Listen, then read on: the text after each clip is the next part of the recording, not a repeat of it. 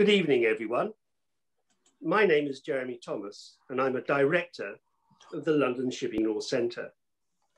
It's my pleasure to welcome you all this evening to the 11th in the series of lockdown webinars organised under the auspices of the London Shipping Law Centre. Some 450 of you from 34 different countries have registered to participate in this webinar. And I trust your faith in the preeminence of London as the Maritime Dispute Resolution Centre will be reaffirmed by this evening's seminar. The subject matter of which is a historical analysis and commentary on the recent judgment of His Honour Mr. Justice Andrew Baker in the Eternal Bliss on the long-standing question as to the availability of damages where a ship is on demurrage.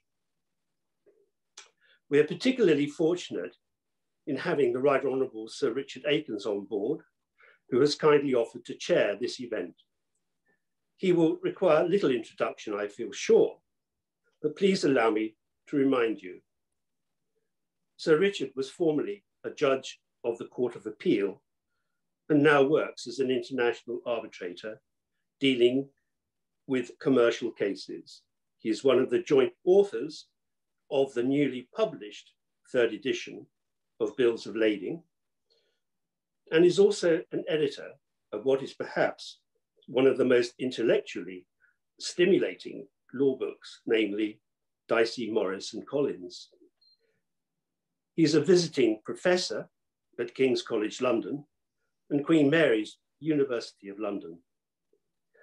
I will leave it to him to introduce you to our distinguished panel of speakers to whom you'll be able to address your questions that you may wish to raise, a selection of which will be passed to our panelists for a 15 minute Q&A session at the end of the webinar.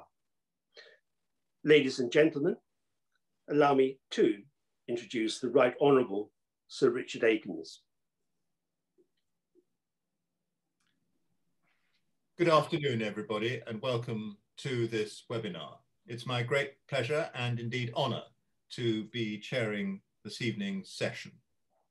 We have four distinguished speakers to deal with this question.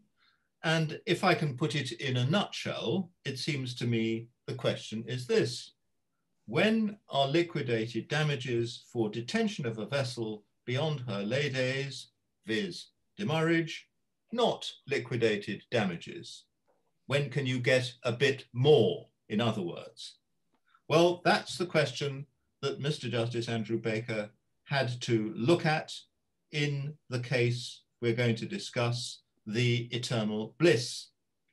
And he discussed it in some considerable detail. Well, to help us through his judgment and the background to it, the cases, the case law, and the various academic views on the matter, we have, first of all, Christopher Smith QC.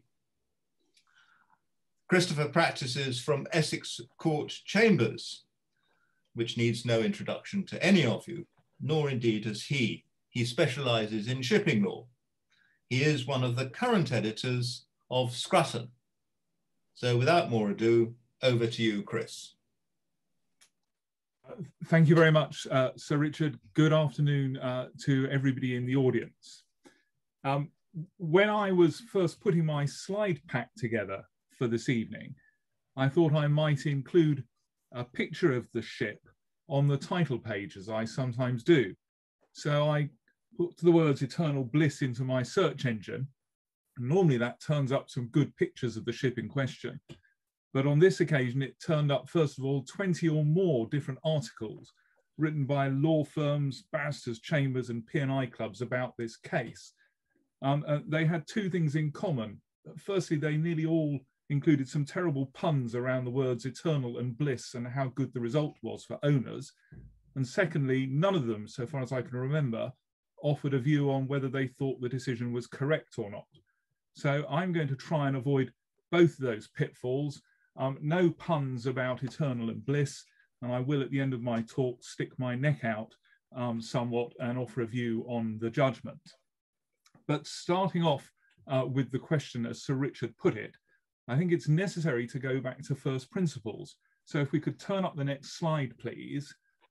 Before we get into the shipping books, I've delved into McGregor on damages just for some a reminder about what we mean by damages. And that's an award of money for a civil wrong. Or to put a little more detail on that, the sum of money which will put the party who's been injured or who's had suffered in the same position as he would have been in if he had not sustained the wrong for which he's getting his compensation or reparation. So that's um, damages. And then the next slide, please. Looking then at demurrage, I'm going to take the words of Lord Brandon from a case called The Lips, which Mr. Justice Andrew Baker referred to in The Eternal Bliss. Demurrage is a liability in damages to which a charterer becomes subject because by detaining the ship beyond the stipulated lay days, he is in breach of contract. Most, if not all, voyage charters contain a demurrage clause which prescribes a daily rate at which damages for such detention are to be quantified. The effect of such a clause is to liquidate the damages payable. So next slide, please. Now, um, liquidated damages is a subject that's um, well known in many other areas of law apart from shipping law. And McGregor on damages at chapter 16 has an entire chapter to do with liquidated damages, nearly every single paragraph of which is concerned with the question of when the guilty party can get away with paying less than the liquidated damages because they say the liquidated damages clause is a penalty. But there are tucked away in that chapter three, I think, sections dealing with the question we are looking at, which is when the innocent party can get more than the liquidated damages. So the claimant will, however, be entitled to sue for unliquidated damages in the ordinary way, in addition for suing for the liquidated damages if other breaches have occurred outside those which fall within the liquidated damage provision, or, and this is our case, it seems if only part of the loss arising from a single breach is regarded as falling within the provision's ambit. And then there's two other quotes there, I shan't read them to you, but dealing with the same issue. So next slide, please.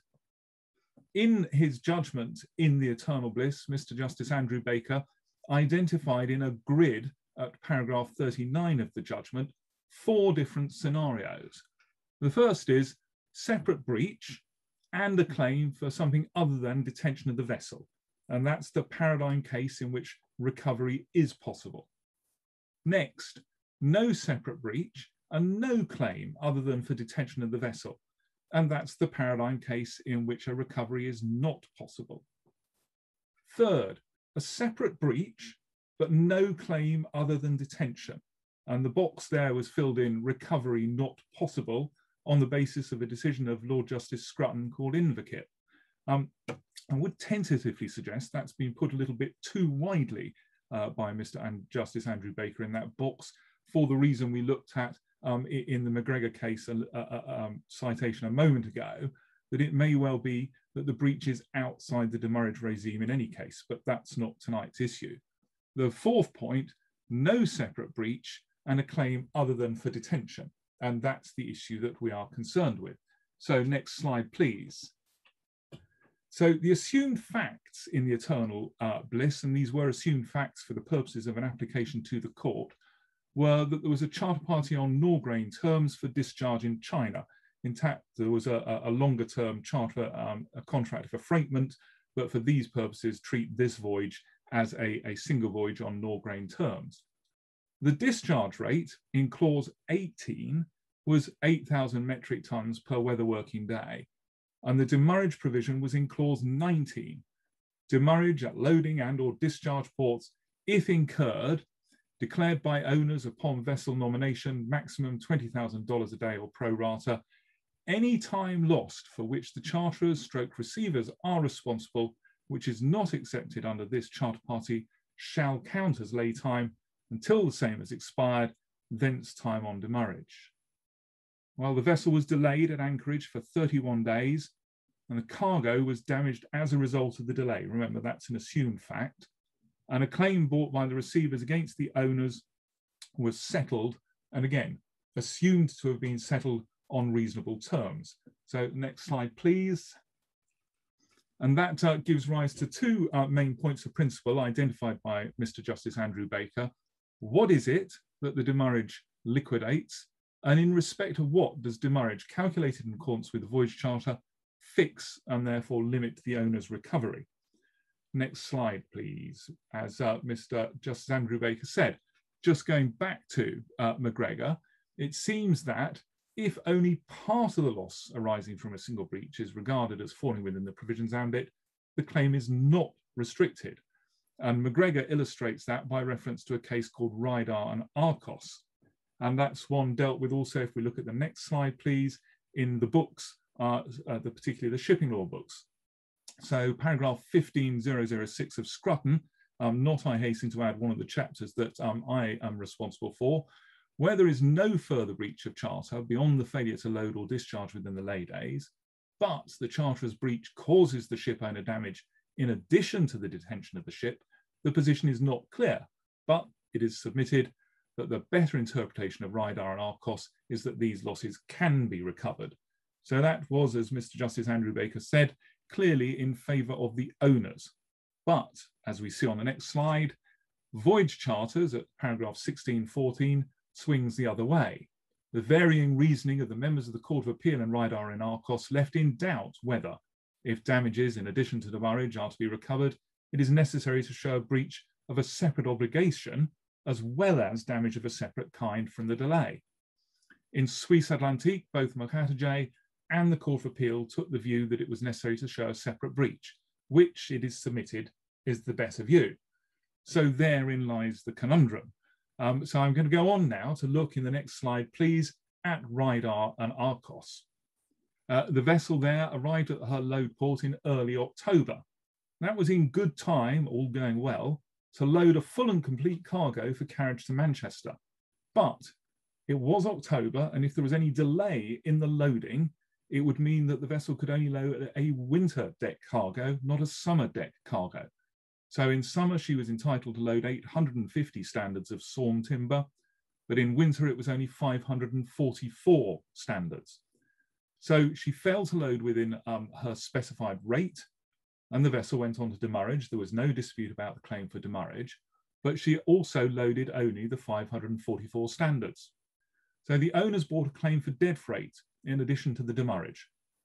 The claim was distinctly pleaded as a claim for breach of the obligation to load a full and complete cargo. The defense was that when the vessel sailed, she had a full and complete cargo. She was not lawfully entitled to carry to the United Kingdom, under the provisions of the Merchant Shipping Act, any more cargo over and above the 544 standards. So we need to look at the judgments and the way the judges approached it, because as Scrutton and Voyage Charters say, uh, it's not easy to discern a clear ratio from the three judgments. So First of all, in the next slide, please, Lord Justice Bankes. He quite clearly held that there was no breach of the obligation to load a full and complete cargo. Essentially, he held that the loss was caused by a breach of the obligation to load at the agreed rate, because when the vessel finished loading, she had loaded a full and complete cargo, as much as she was lawfully entitled to load. And the claim for demurrage, however, did not exclude the additional claim for any special damage because the claim advanced for the dead freight was, quote, essentially distinct from any claim for the detention of the vessel. So Lord Justice Bankes is clearly a one breach man. Uh, even though there's a single breach, if your loss is of a different nature, you can recover it. Uh, contrast in the next slide, clearly the other way, Lord Justice Sargant. He held that the time at which you had to assess whether a full cargo had been loaded, that had to be ascertained by reference to the time when the charterers received the ship for loading. when she arrived at the load port, she could still have loaded a full summer cargo. Uh, Lord Justice Sargant went on to say that the demurrage provisions of Clause 3 did not form an agreed compensation for the loss which the owners has suffered. That's the a loss of freight. That was loss of another character, namely loss of freight caused by the breach by the charterers their contract to load a full and complete cargo. So he's identifying two breaches and a separate loss and the owner was entitled to recover in respect to the separate loss. So the confusion arises, um, with the greatest respect, from the third judgment, the judgment on the next page, please, of Lord Justice Atkin.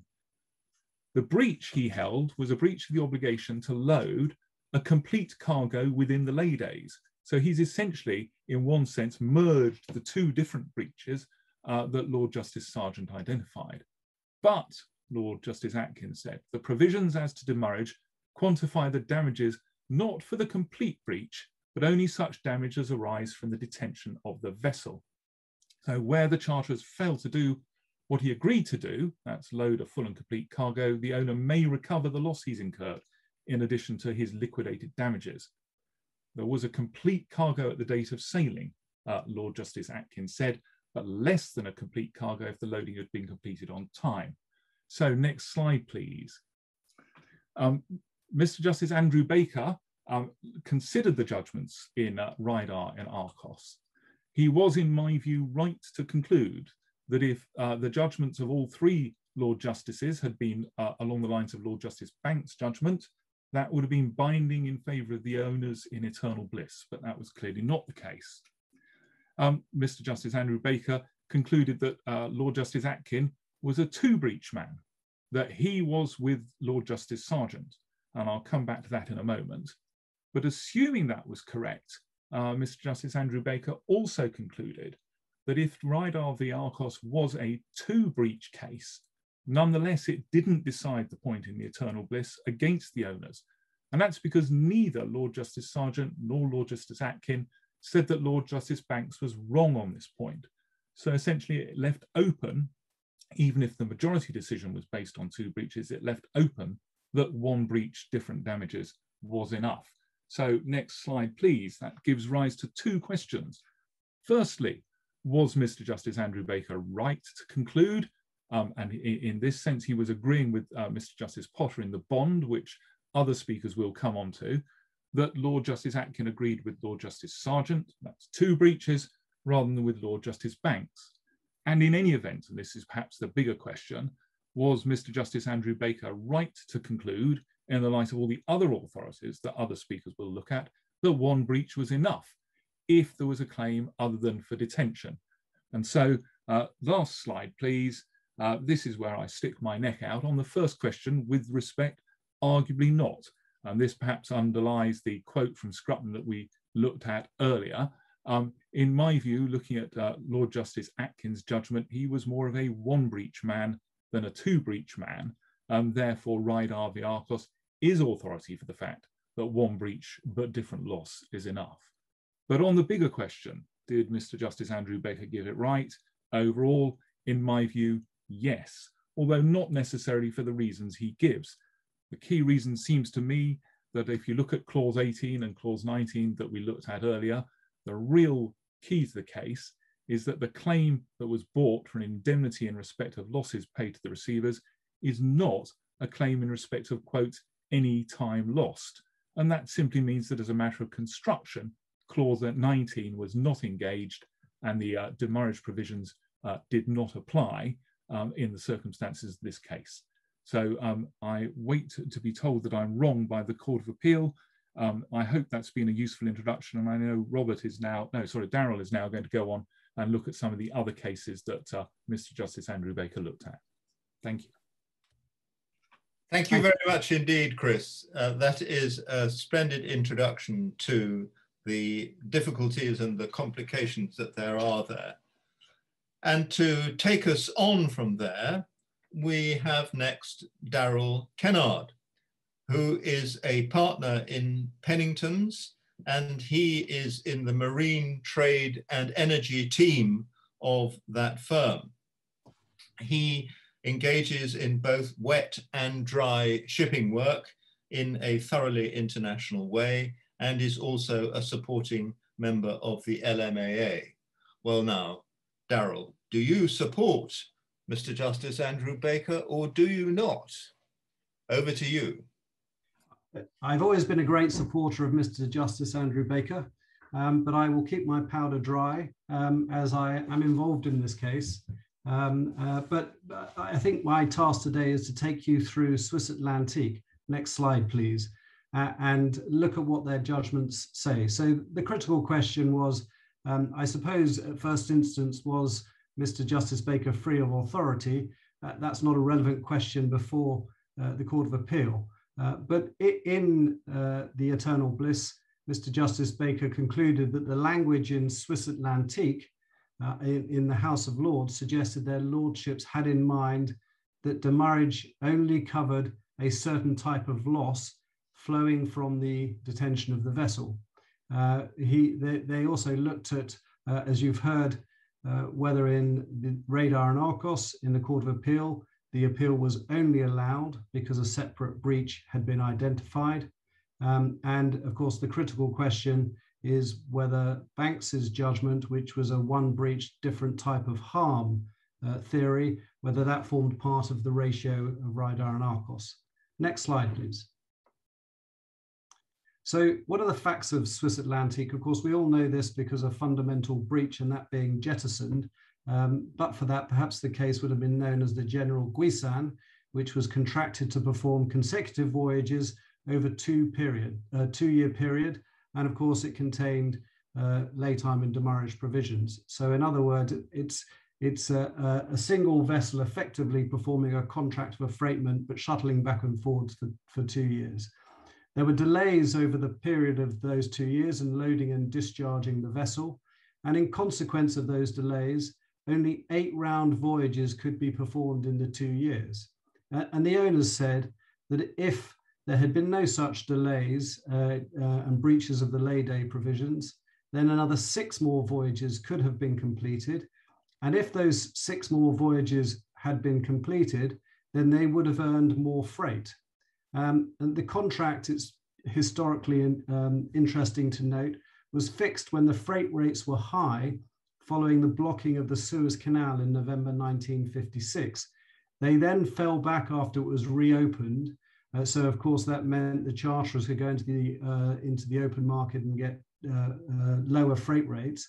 But in contrast, in the contract, the demurrage rates uh, remain low. Next slide, please. So notwithstanding demurrage had been paid, owners sued for loss of earnings due to the delays resulting in the reduced voyages. The claim was advanced in four ways.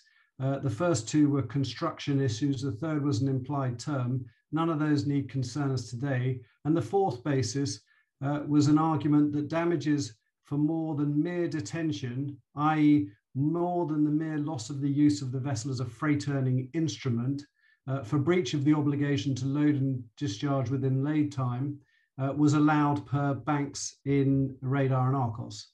Next slide, please. Uh, so the legal debate uh, is only one breach uh, for which demurrage was payable and paid. Since the demurrage rate customarily assessed by reference to the prevailing market rate, should it be construed as liquidated damages for detention as a type of loss, i.e. loss of use of the vessel as a freight earning asset, or all types of losses arising from detention being a breach of the obligation to load and discharge within lay time. Next slide, please. Uh, it, the case came before Mocatta at first instance uh, in Swiss Atlantique, and having identified the issues in competing submissions, he observed the relevance of owner's first three submissions, those of course are the failed bases, is that if any of them be right, he's established an obligation on the charter as different from or in addition to that imposed on them by the application of the lay time provisions, and thus may be afforded a means of recovering damages and other than demurrage. Uh, Mr. Justice Baker tackled this observation head on and said that a means in that sentence means one means, not the only available means. Uh, but what was the focus of Mocatta's judgment as a whole? Next slide, please. Well, with the first three bases having failed, Mocatta summarized the only arguments before him. The owners were arguing that demurrage only covered detention and since their claim was for loss of freight, it was recoverable per Bankes in Reidar and Arcos because they said it was distinct from detention. Uh, in contrast, the charterers argued that there was only one breach, uh, the, no, the obligation to load and discharge and the fixed times provided, and only one loss, In other words, the loss of freight, so called, was in fact no more than detention. And that was, and demurrage was the only remedy. So that the point there is that there's no detailed argument before Mocatta, it would seem, on whether Bankes's approach of one breach, separate harm um, was correct. And in consequence of this, Mocatta's judgment doesn't really deal in any detail with Bankes's judgment. Next slide, please. So the case, uh, so given the, uh, uh, sorry, I think I've covered that point. So let's, let, next slide, please. Um, so the case went up to the Court of Appeal uh, and Sellers J, LJ said, I do not find that Reidar and Arcos case supports the argument which is advanced here that there is some damage to be assessed on a separate ground or as a separate head by reason of the detention of the vessel. Uh, of course, here the, the reference to the separate head has echoes of uh, Bankes LJ's approach in the Court of Appeal. However, one has to just pause and think, what is Sellers LJ really saying? Is he saying anything other than whichever way you look at it, owner's claims failed because there was neither a separate breach of obligation nor a separate head of loss, Swiss Atlantic being one breach, one type of loss came. Next slide, please. Harman LJ his uh, speech reminds us that the chancery mends no, ma mends no man's bargain. If you have a bad contract, tough luck. He notes that the only breach of the bargain was to take longer than permitted to load and discharge, and then said the breach did consist of taking longer, not on the voyage, but on discharging and loading the cargo. That is the only breach. It is a breach of detention for breaches of that kind, the parties have entered into a conventional figure for damage, which is called demurrage. Next slide, please. Mr. Justice Baker construed that dicta as saying that damages cannot be at large for a breach that consists solely of detention beyond lay days. And importantly, the type of harm resulting from that breach is central to the understanding of what demurrage covers. In other words, he appears to have placed reliance on the words of that kind in the sentence highlighted in green in order to understand what the phrase it is a breach of detention means and seems to be construing that short sentence as meaning it is a breach of the type causing detention. Uh, the question is whether that is in fact what uh, LJ was saying or, or are the words at the beginning of that paragraph the breach did consist of taking longer, describing the type of breach, and is he then going on to summarizing that as shorthand and saying it's a breach of detention? Next slide, please. Uh, Lord Justice Diplock uh, also gave a speech. He said a charterer commits a breach, or sorry, he, he said it was established in Reidar and Arcos that a charterer commits a breach of contract if he detains the vessel beyond lay days and that demurrage has liquidated damages for the detention involved. Question, detention involved means breach or type of harm. Lord Justice Diplock then went on to say that it's not otherwise easy to discover the ratio of Reidar and Arcos before adding that was irrelevant. What happened as a result of the breaches was the vessel was detained. She could not be used as a freight earning instrument, and that is all. For that head of damage, the parties have agreed, perhaps wisely or unwisely, the figure the defaulting charterer shall pay. Uh, Baker said the predominant focus here was on the type of loss, um, not the type of breach. Uh, I think the only observation to make is, of course, that Diplock had started all of this saying that Reidar and Arcos wasn't easy to understand and you can't identify the ratio easily. Next slide, please. Uh, Baker J in the Eternal Bliss said of the uh, uh, Swiss Atlantique when they went up to the House of Lords that there is in the speeches a certain focus on the type of loss intended to be liquidated by demurrage. What their lordships said about the nature of demurrage does not amount to any conclusion that a separate breach of contract is necessary in order to, uh, to claim unliquidated damages for losses other than loss of use. Next slide, please. So let's look at what they said in the House of Lords. Viscount Dilhorn, if in this case the appellants had been able to establish a breach of the charter other than by detention of the vessel, then Reidar and Arcos is authority for saying that damages obtainable would not be limited to demurrage payments. In my opinion, they've not done so. Baker suggested that the reference here to breach of the charter party by the detention of the vessel has the same flavor, flavor as Harman's breach of detention. Uh, and he, which he'd read, of course, as I've just described, explained as a breach of the type causing detention. Question though, is the better reading that detention is merely shorthand for the type of breach? Next slide, please. The following passage of uh, Viscount is also noteworthy in that he appears to cite with approval Del Devlin in Chandris and in Branson. Uh, in the circumstance of this case, it may be that the amount of demurrage payments bears little relation to the appellant's loss. In Chandris, Devlin said, the sum produced by demurrage is generally less than the damages for detention, and that a demurrage clause is merely a clause providing liquidated damages for a certain type of breach. So note the emphasis there on type of breach rather than type of harm. Next slide, please. Uh, next was Lord Hodson. About Reidar and Arcos, he said there was a separate breach from, uh, although arising from the same circumstances as the delay, and it was in these circumstances that damages were awarded. This statement appears to suggest that Lord Hodson thought a separate breach was needed because those were the circumstances that allowed for the recovery in Reidar and Arcos. If so, then it thought he appears he, he appears to have thought that the Bankes' theory was not part of the ratio. Next slide, please.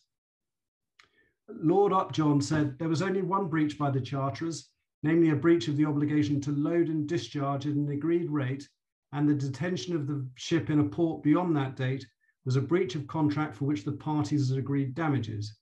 Baker said that in expressing what he understood to be covered by the demurrage rate, the language used is of a type of breach, but is characterized by a type of harm, namely the detention of the ship. But the word detention there can also be understood to be referring to the breach rather than the type of harm caused. Next slide, please. So the difficulty was Swiss Atlantique. In Swiss Atlantique, there was no separate type of harm flowing from the breach of the laytime provisions. That being so, there was no direct engagement in the judgments with the Bankes' approach. So it's important to analyze carefully the context in which any of the statements made by the nine judges are made. Next slide, please. So what we're really looking at here is the question of whether since the demurrage rate is usually assessed by reference to the estimated commercial daily losses suffered when a vessel is detained, are the parties taken to have intended only to liquidated damages suffered for the loss of the use of the vessel as a freight earning asset, or is how the demurrage rate might have been arrived at irrelevant and should the usual broad application of the liquidated damages clause apply? Ordinarily, absent a express provision to the contrary, the liquidated damages clause will cover all losses flowing from the breach to which it applies. Next slide, please. Ultimately, it's a question of construction. What does a commercial party uh, in 2021, as we are today, or 2000 and uh, whenever it was 16 when the contract was concluded understand by the phrase demurrage as liquidated damages for detention. That's a phrase that will trip off any maritime lawyer's tongue fast when you're asked to explain what demurrage is but does it mean demurrage is liquidated damages for the loss of the use of the vessel as a freight earning asset or demurrage is liquidated damages for all losses arising from a breach of the obligation to load or discharge within lay time. Next slide, please. I'm going to pass over now to Sir Richard. Thank you very much, Darryl, uh, for that, and uh, particularly the explanation of Swiss Atlantique, always a difficult case. Well, I hope you're keeping up in the maze. And to help us next is Robert Gay. Now, Robert has form because he has written on this very issue in the Lloyd's Commercial and Maritime Law Quarterly back in 2004. And his article is referred to by Mr. Justice Baker at paragraph 27 of his judgment. We're grateful to Robert because he is the person who has put together this seminar for the LSLC this evening. Thank you very much indeed. He practices as a maritime arbitrator and has done since 2019. And now we will hear more uh, on his thoughts on this difficult topic. Robert. So, ladies and gentlemen, what I'm not wanting to do is to rehash what I said 16 years ago. Uh, next, please. Um, I think that what Mr. Justice Andrew Baker held is right as a matter of English law, both in terms of the meaning of the word to the extent that we can fix on that, and in terms of the authority, or at least the authority that's going to be relevant in the Court of Appeal. I hope that in the limited time available, I may get on to talk about some of the issues that will arise inevitably if the Court of Appeal does uphold the judgment of Mr. Justice Andrew Baker in this case. Next, please. So, meaning the judge is perfect, with great respect, entirely right to say this is a question about what's meant by the word demurrage. But I think the problem here is demurrage is not a word of ordinary English. And really, it's not a technical term of the ordinary shipping business. It's a technical term of shipping law. And so even when you're trying to get hold of the meaning, you're inevitably going to end up looking at judgments. Uh, next, please. Um, this is my version of the four scenarios. Um, the starting point is that under English law, the one thing that is clear is that sometimes the owners of a vessel under voyage charter can escape from the demurrage rate that they've agreed. The question is not whether they can, the question is in what circumstances and just how difficult escaping is. So my version of the four scenarios is these two ovals where the left-hand one in red is you can escape if there's a breach of a separate obligation, like the obligation to load a full cargo. The right-hand circle oval is you can escape if there's a separate type of loss, the position in the judgment next before the eternal bliss, or rather next but one, the Bonde, is you need both of those. So it's in the intersection between the two ovals. And the fourth possibility is that either of them will do. And so if you're anywhere inside either of those two ovals, you as the owner can escape. Next slide, please. Under English law, the possibilities, the scenarios immediately get restricted.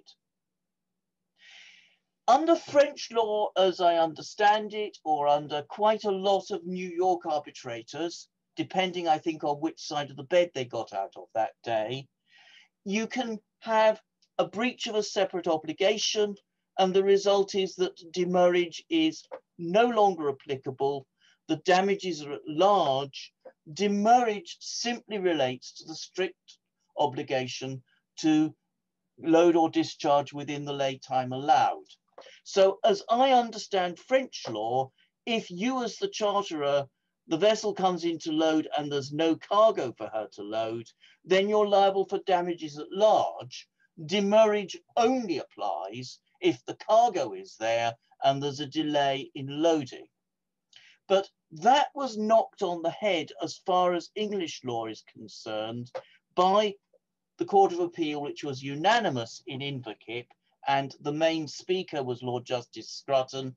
It was precisely a case in which the owners said there was no cargo for the vessel in the port, and Scrutton says, well, any breach, whatever the obligation, where the result is delay within the loading or discharge stages, that delay is dealt with by demurrage. Next, please. So what's left of separate breach on its own is this, that the parties to a contract are free to agree what they want. They can agree to take a particular obligation outside the whole laytime and demurrage thing. This one of my favorite little judgments, which is unreported but in the footnotes to, to Schofield on Laytime, is a case called the Lee Francis. The vessel's chartered to discharge in Ireland and it's late December.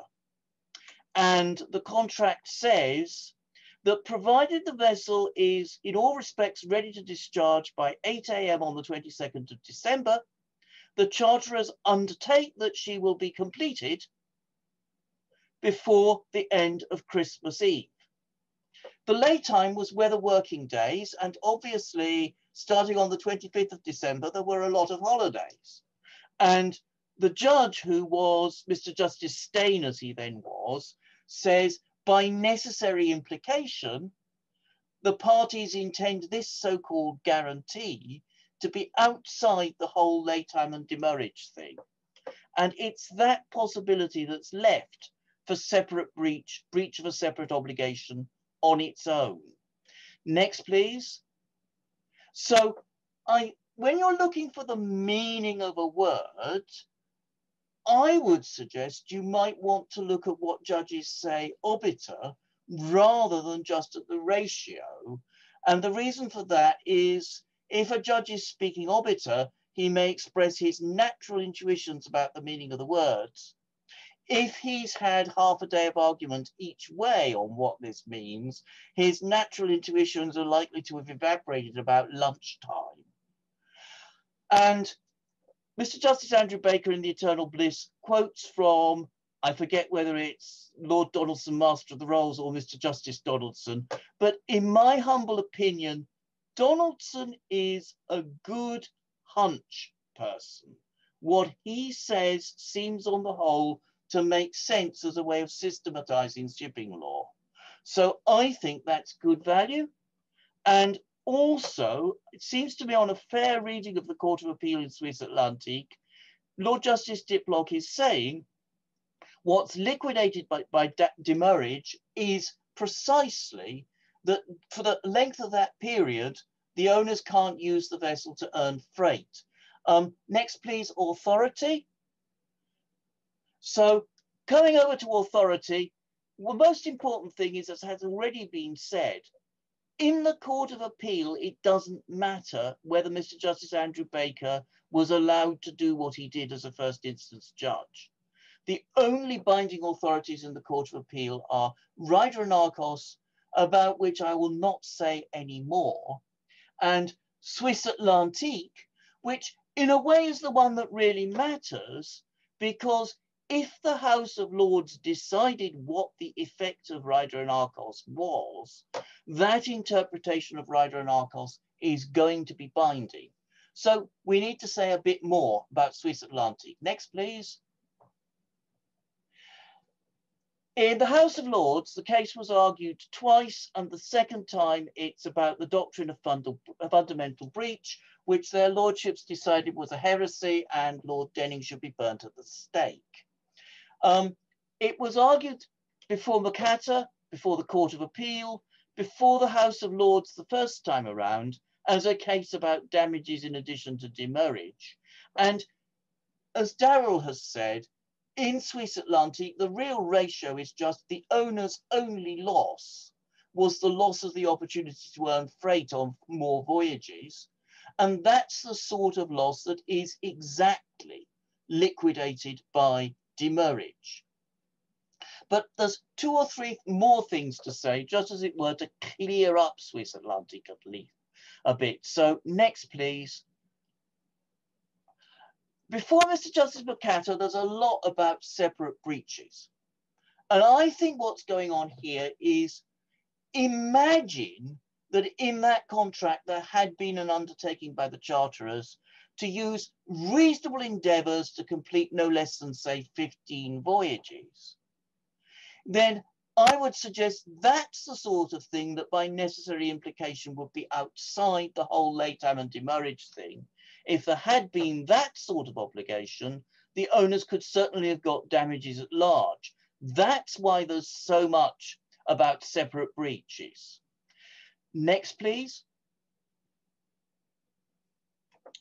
in the Court of Appeal, certainly Diplock is not in the business of rejecting what Lord Justice Bankes says. He says, whichever of the ratios is right, either way, the owners can't win. Next, please. And in the House of Lords, if you look at the report in the appeal cases, the Counsel for the Charterers, first time round, submits straight off that Bankes was wrong. None of their lordships takes the opportunity to agree with that. And at least one of them says, well, whichever way you do it. Now that's not rejecting Bankes. Next, please. So if we come to authority as consensus, the way higher courts pay attention to the position in lower courts, the real position is just that before the eternal bliss, there were a couple of judgments one way, there were a couple of judgments the other way, although the judgments the other way, the Bonde were and the Luxmar were the ones that Mr. Justice Andrew Baker disagreed with, everybody thought that it was just might be one way, might be the other way. And if we come down next, please, to persuasive authority, well, I think Lord Justice Bankes is quite good value. Next, please. So I would have hoped to talk about these problems, but my time's up, ladies and gentlemen, so you might want to read the slides afterwards. Thank you very much indeed, Robert. Well, you've left us uh, at a tantalizing point in the argument. Ladies and gentlemen, don't forget, we're here not only to listen to the distinguished speakers, but also to deal with any issues that you might have uh, to raise. So please don't be backwards in coming forward. Give us your questions and we'll do our best to try and answer them because these are difficult problems. And they're difficult problems not just for ship owners and charterers, but possibly also for those who engage in the trades that use the ships in voyage charters. In other words, those involved in commodities. We all know that there are commodity contracts with standard terms which refer to demurrage. And we all know that there could be issues about whether or not other types of damages could be passed down the line. Well, here to help us with that problem, we have Ann Shazell, our last speaker. She is the group lead lawyer for Cargill's ocean transport business, and she is based in Geneva.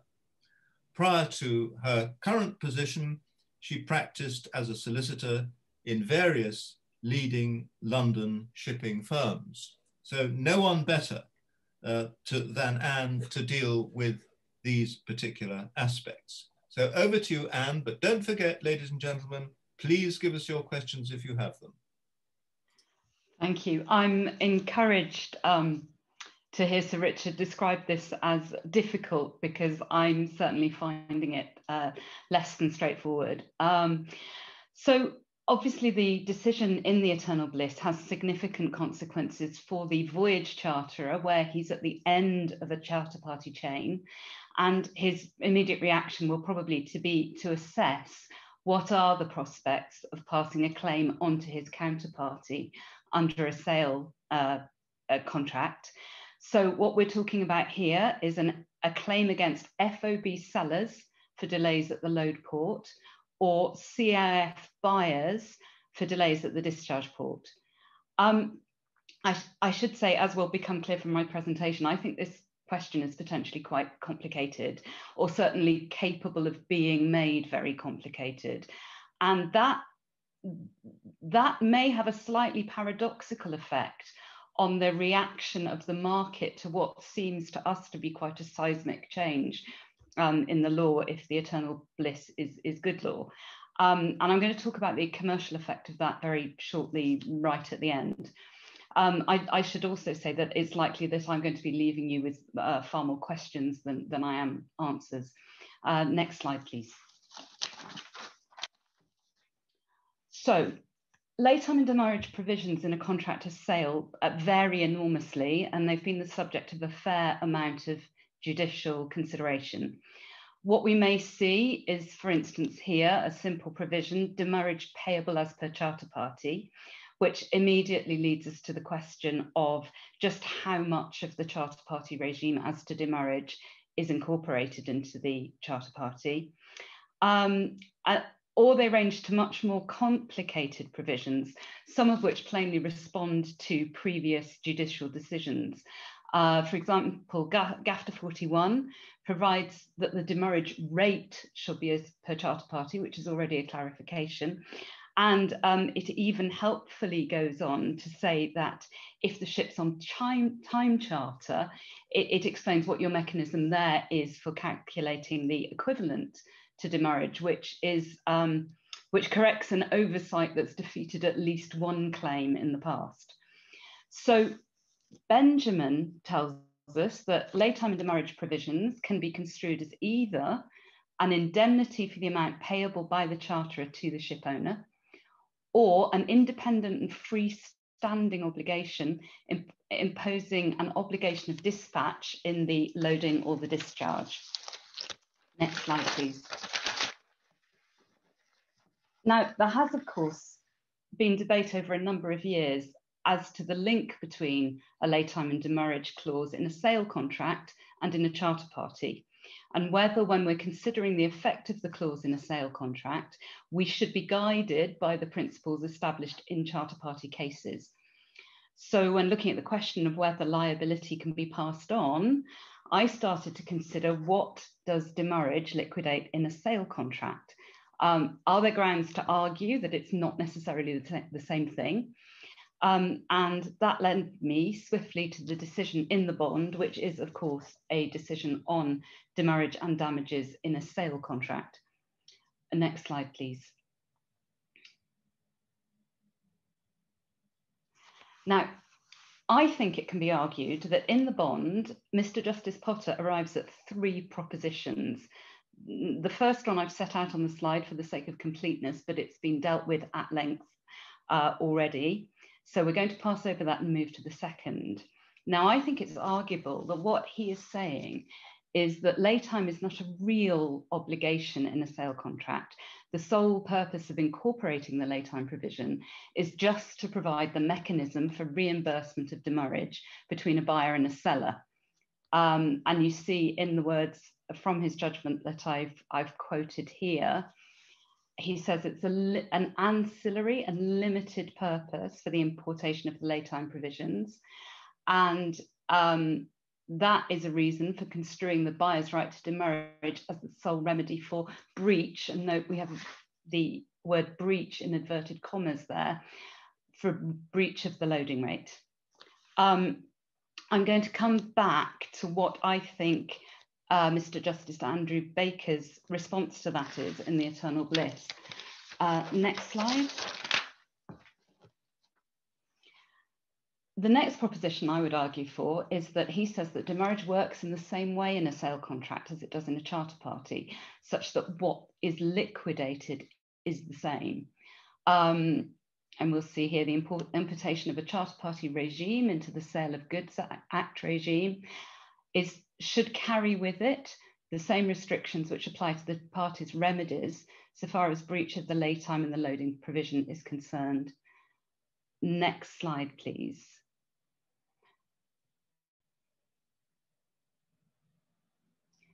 Now, my view here, and it's just my view, is that Mr. Justice Potter takes an approach which is much more broadly consistent with construing the lay time and demurrage provisions as an indemnity whereas Mr. Justice Baker takes much more of an independent obligation approach. Um, in, in relation to the first, uh, the first statement on this slide, what he says is that the argument advanced by Mr. Havelock-Allan in the Bonde is that a demurrage clause provides an estimate of the loss of the freight if the vessel is detained beyond the lay days, and that it doesn't cover the separate and independent loss represented by the necessity to pay carrying charges. Um, and it seems as a general point, um, it seems to me that if we look at Mr. Justice Baker's comments, he finds support in his view that the Bonde was wrongly decided precisely because of the results of its application in the sale contract. And I think we can see that in, in the words towards the, the bottom of this slide. Um, and so it's for this reason, it's it, for the difference between the two approaches that I just wonder whether there is room for the waters to be muddied here and whether, depending on how the individual clause is construed, there may be room for a difference of approach as to whether uh, damages are, can be claimed. But uh, if we now move on to the next slide, and we assume that the effect of the eternal bliss is that a claim for damages can be passed down a sale contract chain, then we need to look at whether the provisions of that sale contract in themselves preclude that additional claim for damages being passed down. Now, in some sale contracts, the only damages contemplated will be basis uh, contract versus market. And in that case, it's clear that no damages can arise in, in any event. Um, in other contracts, I'm taking GAFTA 64 as an example. Um, the, it provides that damages shall uh, basically be contract versus market, but not limited to that, and would also be those damages which would re result directly and naturally in the ordinary course of events from the breach.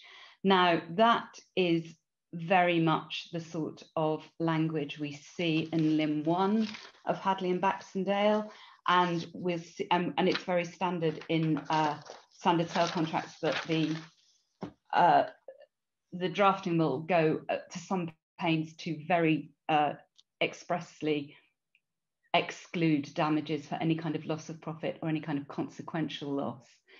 So given that we're within sort of Hadley and Baxendale territory, if we look at those kinds of damages which have been identified as being of the nature of a separate type of, of damages, um, which are listed on our next slide. Um, so the, the first one is damage to cargo, which is obviously uh, what happened on the assumed facts of the eternal bliss. Now, in that case, um, what we've got, obviously, these the eternal bliss, the the facts are slightly unusual in in the sense that we we know what's happened here, right? So the the owners have chartered their ship to a voyage charterer, who is also um, presumably a CIF seller. The buyer or the ultimate holder of the bill of lading has brought a claim against the owners under the bill of lading in circumstances where he wouldn't have had recourse to his uh, to his seller because probably he has bought on terms that say uh, quality of the goods are, were final at load and he is able to advance that claim under the bill of lading against the owners even because the the vessel is in um, a, a, jurisdiction where the courts will essentially entertain that, that claim and the ship is there and as we know the ship is stuck. Um, so this is this is kind of a circular claim because the claim will be advised advanced into the bill of lading owners recover from um, the uh, voyage charterers and then i'd say it would be right that the as a CIF seller, you can recover from your buyer for his failures at the at the discharge port to arrange uh, discharge. Uh, other types of damage, well, we have we have the next one is damage to the vessel. Well, clearly there, we anyone if we look at, for example, a claim for uh, hull fouling, so where the vessel is in one place for so long that the that barnacles grow on the bottom of the of the ship, they reduce the ship's speed and consumption, then um, plainly to anyone involved in shipping, that is a directly and naturally occurring result of the breach. Whether that's reasonably foreseeable. And I think uh, Robert was going to touch on some parts of this also in his um, presentation, is, is what is reasonably foreseeable to a, a, trader in one part of the world as the natural result of delay in a port in another part of the world uh, reasonably foreseeable is, is another question. Um, and I think, I think there's still a lot to be discussed there. Now we're at time. So the, the only thing I just wanted to add was a very slight commercial gloss on this, which is what is the what's going to be the reaction of the market to this? What's what's my reaction going to be as a commercial lawyer if this comes across my desk? Well, the first thing I'm going to do is check whether I'm actually at risk. I'm going to check how many contracts we have where I'm at the end of a voyage charter party chain and I'm an FOB buyer or a CIF seller. And then I'm going to consider, on the basis of that level of risk, whether it's worth drafting a, a bespoke clause to get out of it, um, and whether that then is going to be effective depends, of course, on market conditions. What's the strength of the market? Which which party is holding the cards? It also depends on the skill of my um, trader in negotiating most often, most often of all, it depends, frankly, on whether the counterparty has read the contract um, as to whether I'm going to get that agreed. I'm going to stop there. I just wanted to put that slight commercial gloss on the end and um, hand back to um, Sir Richard.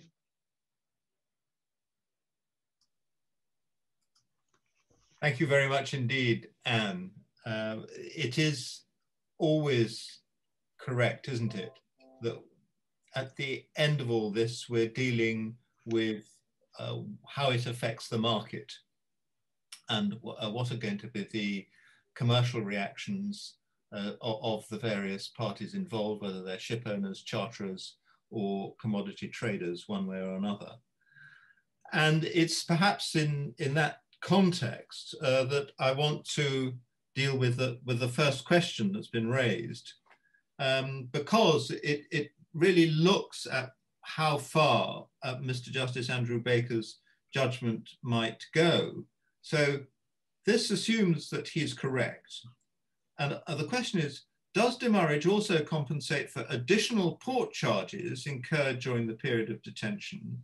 And two, the consequences of marine fouling that grows on the hull during the period of detention, the time and expense involved to inspect and clean the hull, and any underperformance claims that may arise before the cleaning can be done. Topics that Ann touched on uh, at the end of her uh, presentation. So um, what does the panel think of this? Chris, uh, would you like to take a lead on, that? I, I'm very happy to take a lead on this. And as you say, it's a question that Ann uh, touched on and Robert would have touched on it, certainly on one of his slides.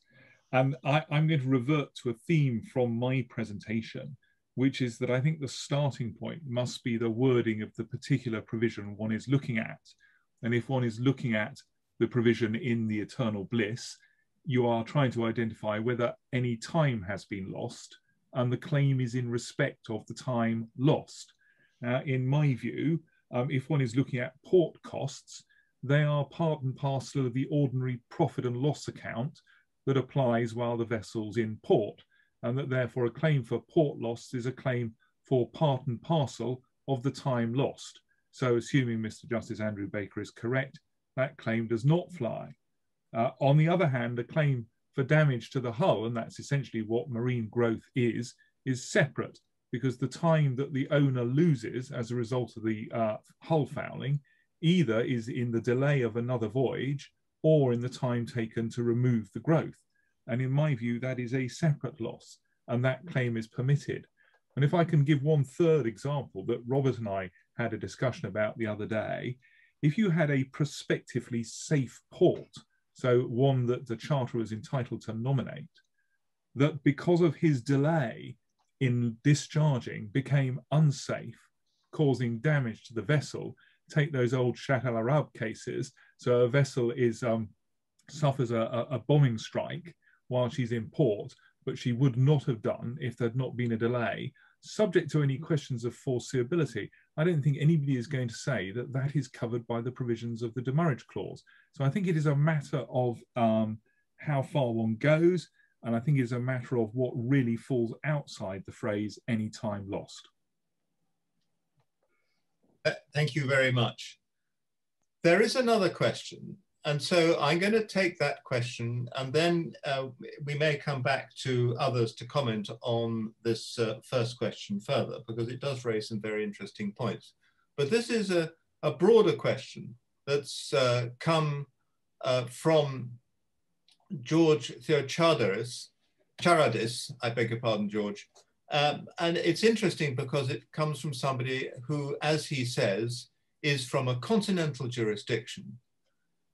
So he asks, prima facie, it's a matter of construction of the wording of the clauses, but my understanding is that demurrage is liquidated damages agreed between owner charter for the breach flowing from the inability to earn income from the vessel for the period that it was detained outside the agreed free period, free in inverted commas.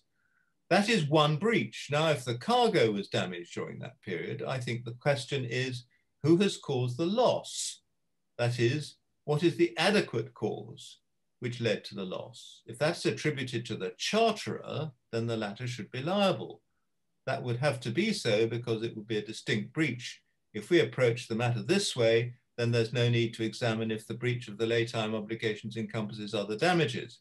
Could such reasoning be plausible under English law? Well, um, now, um, I think, Darryl, you uh, have volunteered to have a crack at that one, first of all. Okay, I think uh, as a matter of English law, you have to establish a duty, a breach of that duty, damage, uh, which is causally linked to the breach of that duty. Uh, and here, uh, I think the continental approach seems to start with causation rather than a breach of duty and the damage. So here, there is only one breach, there is cargo damage. Uh, the damage flows from the breach. The question is, in the eternal bliss, whether the demurrage provision liquidates that damage as well as the damages for loss of the use of the vessel as a freight earning asset. So I think that's the way we would approach it as English lawyers. Thank you very much indeed, Darryl. Now, I, I can't uh, resist moving on to this next question before any other comments on questions number one and two, uh, because it it's, uh, demonstrates that uh, we have got a very uh, wide audience, which includes the judge himself, Mr. Justice Andrew Baker, has asked a question. And he says, irrespective of whether I got the answer right, and with respect, we're not here to say yay or nay on that. That's for the Court of Appeal. Does the panel think it was a good use by the parties of the preliminary issue procedure under the 1996 Act? Well, does anyone have a, a, view on that that they would like to express? I haven't asked any particular panelists, uh, but um, uh, if uh, anyone would like to express a view, then please go ahead. Well, as one of the parties involved, I'm bound to say yes, I do. Um, but I think I think actually it's a very good advert for London. Uh, Nick Austin, uh, Reed Smith, and I discussed after submissions whether we would take it straight to the High Court and agreed that that was a sensible thing to do. Uh, it would have saved costs of an extra round of argument, um, and uh, so I think it was absolutely the right thing to do. Does any one of the panelists have a contrary view? I suppose it would be like Turkey is voting for Christmas if they did. Apart perhaps from somebody who was an arbitrator who wasn't going to argue it in, in court. Uh, but I think amongst the, uh, the barristers and solicitors, it's more, more work and therefore a good thing.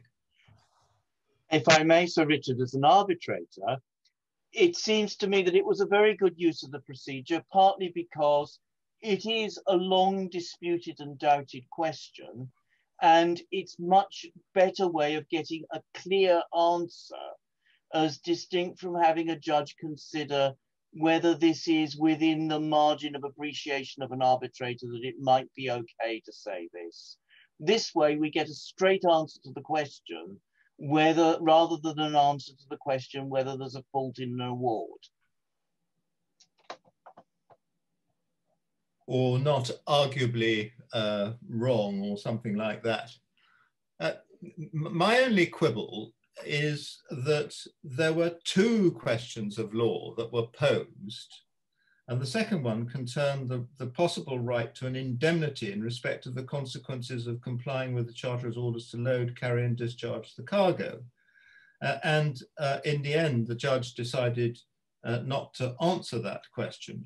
Well, uh, the, the difficulty is that even if uh, the answer to the first question is no, you can't get anything more than demurrage, by the Court of Appeal or the, the Supreme Court, you've still got something left, haven't you, for the arbitrators to deal with. And that itself may then raise a, a point of law which is of sufficient importance for it to go to court. But let's leave it there because there are let's leave it there because there are other questions uh, that, that have been posed after uh, Mr. Justice Andrew Baker's question. So, would the commodity world escape from the complications of demurrage detention in carriage through the simple device of calling the clause in a sale contract what it actually is? Liquidated damages clause at load or disport rather than calling it a demurrage clause? Well, that's a very good question. Ann, what do you think of that?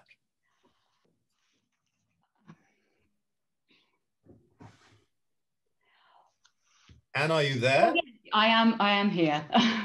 well, yes, clearly that that I think that uh, terminology would uh, put it beyond uh, dispute. Uh, though whether we'd all have as much fun on evenings like this would be uh, debatable. I, th I think ultimately this is a question of construction, and of course the parties are free to amend their bargain uh, and they could put a clause in a charter party on a sale contract saying demurrage in this contract means, and then they can either jump the potter or the baker way, if I could be so blunt.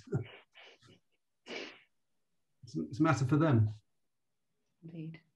Yes, yes, it, it must be a matter for them. And indeed, uh, another anonymous attendee uh, makes the comment, it is always open for parties to seek to limit their liabilities I recall BP 2015 is an example of one that would seek to limit any delays in loading or discharge to demurrage.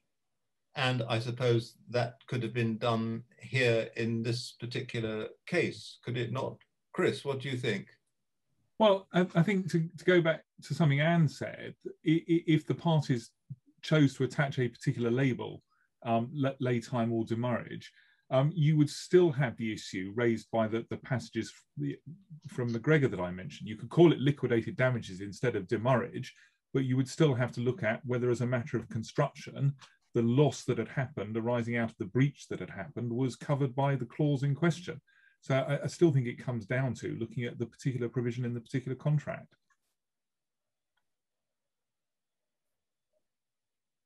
Uh, I, I uh, I suppose I, it depends how clearly in your contract you say it. If you say demurrage in this contract means liquidated damages for loss of use of the vessel as a freight earning asset, then you're squarely, you know, there, and it, and and you could come up with a formal wording that points the debate the other way.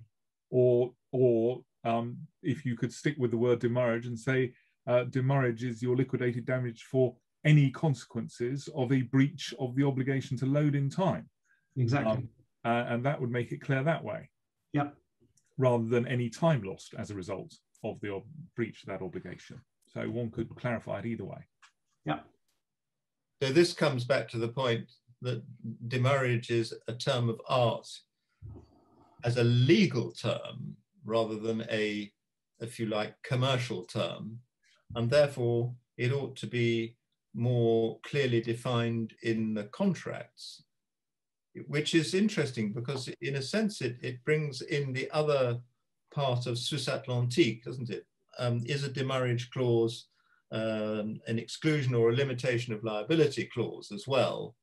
Uh, and uh, if you define it in a particular way by using rather more extended wording in a charter party or indeed a, a commodity contract, uh, then you could avoid that issue.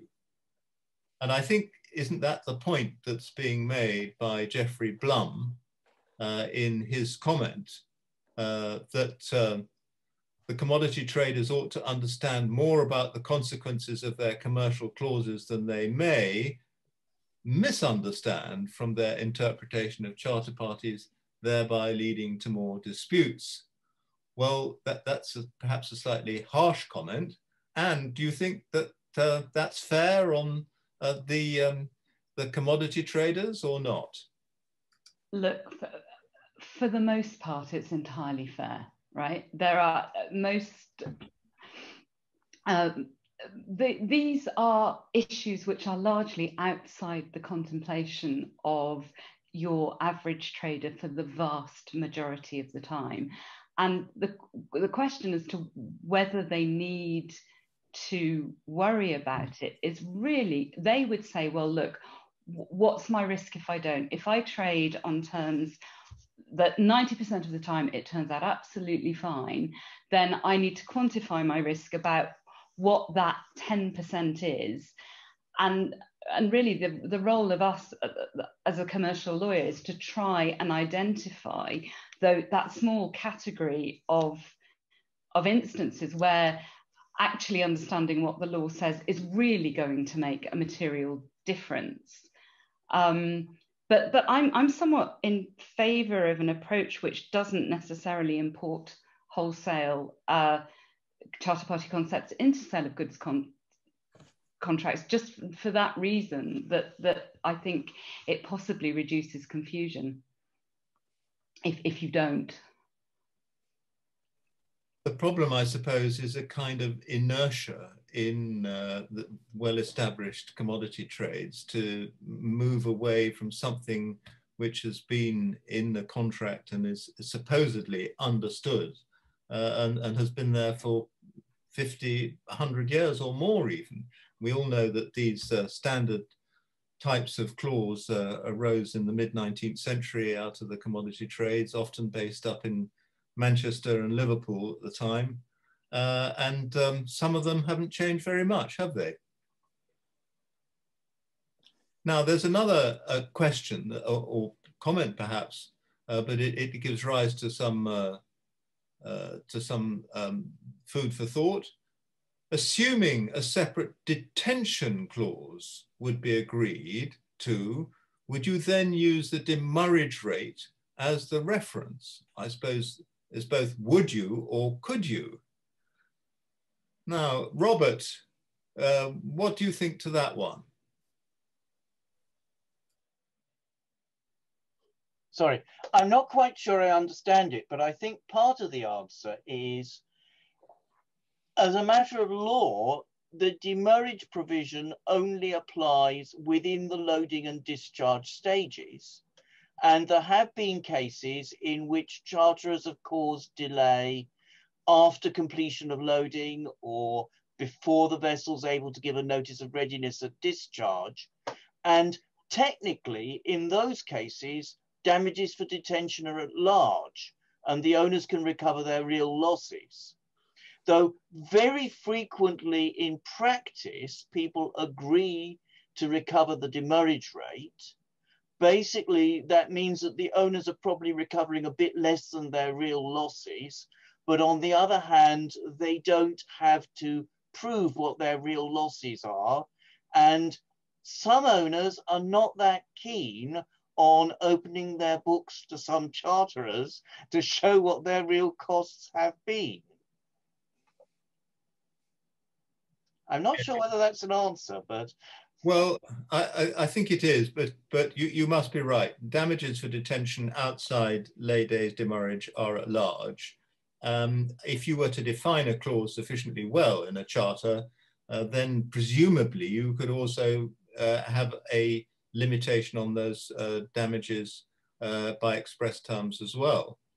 Now, there's another question uh, from uh, Mr. Chu, Uh, is there any room after the decision of the eternal bliss for an implied term in a bill of lading incorporating a voyage charter that a shipper or receiver undertakes to load or discharge a cargo within a reasonable time, and if so, would the lay days be considered a reasonable time? Well, perhaps I ought to go on this one, as, as I've been partly responsible for writing a book on bills of lading. I think it's going to be difficult to say that uh, uh, unless there was some um, absolutely express incorporation, that you could say that, for example, receivers um, uh, under bills of lading are going to be uh, liable for uh, even demurrage, let alone something else. There's a, a, decision of the House of Lords called the Miramar, uh, which confirmed the decisions of the courts below, pouring scorn on the idea uh, that, that, that parties to bills of lading could be responsible for demurrage so I think it would be very difficult. In theory, of course, one can construct anything uh, in a contract, unless it's illegal, uh, to bind parties. But I think the answer is probably very unlikely. Now, uh, we're, we're moving, uh, I, I, must apologize to Mr. Bloom for mispronouncing his name. Many uh, uh, apologies. Um, but but before uh, that, there's another question. Um, the, the, query, this is to you, Ann, whether voyage charters would be liable, able to pass on the claim down the sales contract. Would the landmark uh, Supreme Court decision on vicarious liability, Global Santosh, um, NYK against Cargill be relevant for determining whether the demurrage claim can be passed down the sales contract claim. Ann, do you have um, any thoughts on that one? And other panelists might like to be thinking about it as well. That's an extremely interesting question, and but frankly, one that I would need much more time to consider. It's not something I considered while I was uh, preparing this uh, this presentation. Um, I, I, can see why the question's raised, and I'm not going to venture any more of an opinion than that before I actually have chance to think about it. That's very wise. Um, any other panelists uh, like to stick their neck out with a thought on this? I'll, I'll stick my neck out a little way. I think one interesting point that arises out of this question is that is if one is looking at whether one can pass that liability down the line to, to the receiver, one then ends up in a position where if the receiver um, could could be held liable um, to their contractual counterparts, query the basis upon which the owner was ever liable to the receiver in the first place. So if ultimately the, the, the fault lies with the receiver, um, uh, uh, and that's a liability that can be established against them, then it's probably quite unlikely that the owner would ever be able to settle with them on terms that they could then say, were reasonable for the purposes of recovery action against the charterer. So I think that the, chain is broken at, at, at, that level if you are into a situation where the actual receiver is actually at fault. Chris, I think that's reasonable if you're assuming something like English law applying throughout. But the eternal bliss, it's a fact that discharge was in China. And without making any Trump like comments, it's well known that in certain countries, the first and last rule with regard to cargo claims is the ship is liable. Well, then you get into, I think if one pick, picks a different port, I've seen it referred to, I think in one of the cases, it may have been the Kostas Melas, the Aqaba factor. Um, so there are other places where you may inevitably be getting these delays, but then one is going to have to look at questions of foreseeability and and again, you know, genuinely whether the uh, it would be uh, re reasonably foreseeable that an owner paid a claim to a receiver that they felt obligated through commercial necessity to pay, but were not under any legal obligation to pay. Well, thank you. Uh, th there are two more questions that have been posed. We uh, may have time to look at, at, both of them, but let's certainly look at this first one um, because it uh, raises again this question of whether or not you can somehow uh, either limit who's going to be involved or spread the load of who's going to be involved. Uh, as the questioner points out, uh, breach of the charter is a matter of liability between owner and charterers, and since issues occur that connect the traders, do you foresee a new clause added by which I think the questioner means added to the charter party that makes clear that whatever has to do with the commodity other than carrier's fault should be solved between the traders as well. Well, one of the difficulties would be uh, would third parties be bound by that? Um, but uh, Darryl, have you got any thoughts on that? Well, if you could get the commodity trader to agree a term in the charter party whereby it steps in and assumes responsibility, uh, then yes, and you do see that in relation to cargo shortage claims, um, but you don't often see it in relation to any other types of claims. And I suspect Ann will come back and say that generally speaking, her job will tell the commodity traders not to agree those clauses. Is that so, Ann? Uh, yes. Um, though I wonder what is is is meant here is is it the suggestion that the the voyage charter should expressly exclude his liability for these kind of claims as against the owner in these circumstances? Well, I'm I'm not prepared. so I may be reading that the other way around. Yeah, the, the, the questioner, but I, as I say, I had assumed that this is a clause in in the charter, but it it yeah. would it, it's no good just resting there, is it? It's got to go down the chain if it's going to have any uh, efficacy. And what would it be in the form of some kind of indemnity, uh, perhaps for any liability um, that that's uh, that. Uh, for example, if, if, you if you have the the, um, the shipper charterer um, then selling on um, and the shipper charterer is going to be liable um, for this type of damage, then there would somehow have to be a, a, an indemnity clause provision, wouldn't there, or something along those lines?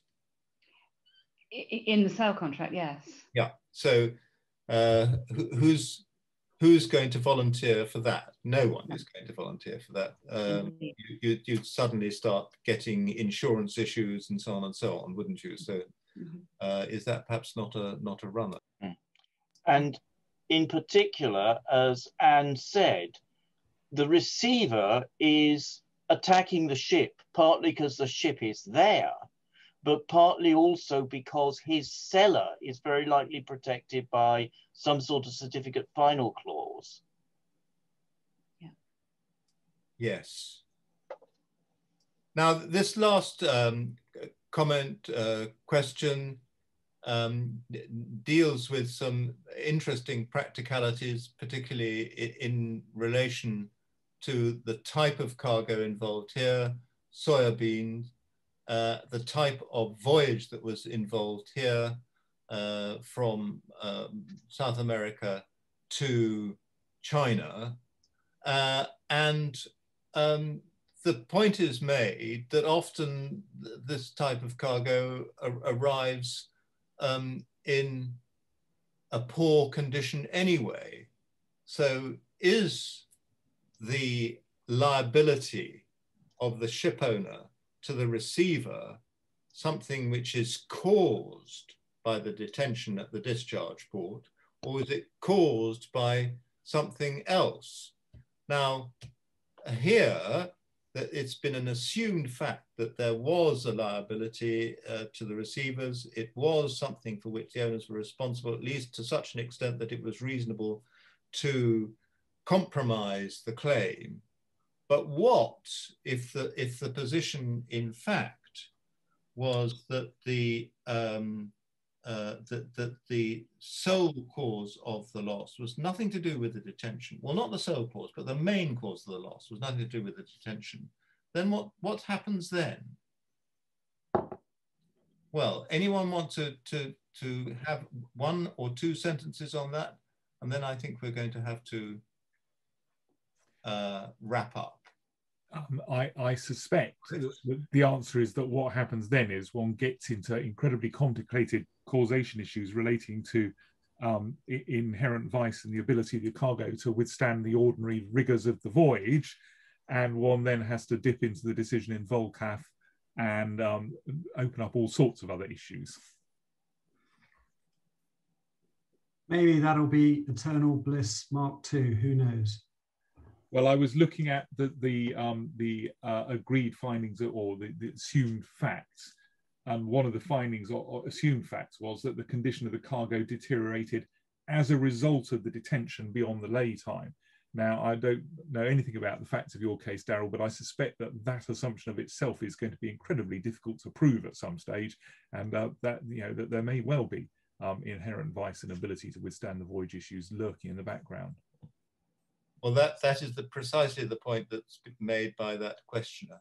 Well, I'm going to thank all those who have posed questions or made comments because that meant that this has given people some food, whether it be soya beans or something else, for thought.